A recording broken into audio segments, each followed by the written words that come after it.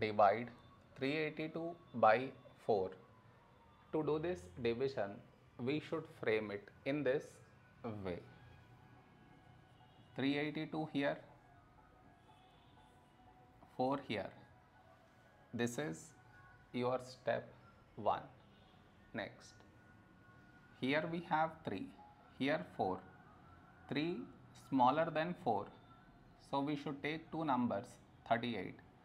A number close to 38 in 4 table is 4 nines 36. Now we should subtract, we get 2.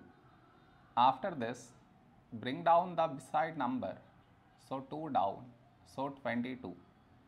A number close to 22 in 4 table is 4 fives 20. Now we subtract, we get 2.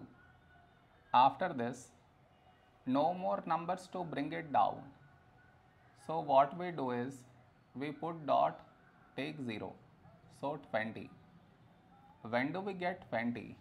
In 4 table 4 fives 20.